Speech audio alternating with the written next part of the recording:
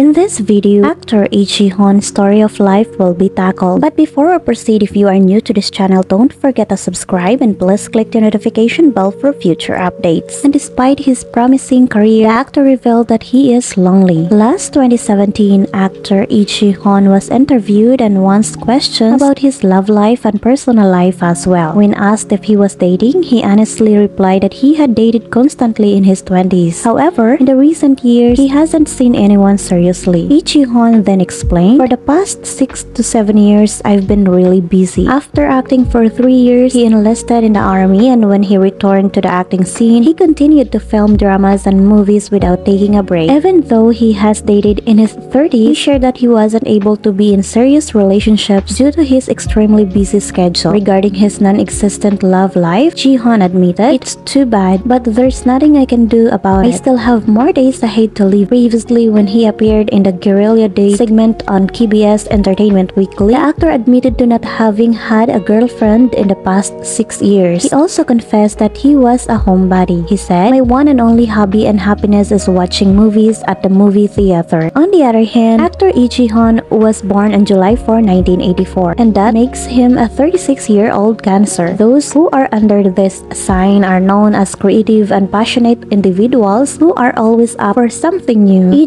was an engineering student at Korea University and he majored in biotechnology. While he was studying there, he suddenly realized what he really wants to do in life and that's acting. And so he transferred to the Korea National University of Arts to learn more about this field. Thanks to a video rental shop in front of their house that inspired him to become an actor. In an interview with Esquire Korea, Je-hoon shared that he went to that shop almost every day as if he's an employee. He also mentioned that his childhood is spent watching a lot of movies movies which he would view using his dad's get a TV with a VHS. For more than a decade, Jehoon starred in a string of K-dramas and films, both indie and commercial. He is such a versatile actor that he was cast in different genres from romance, thriller, melodrama, and choir.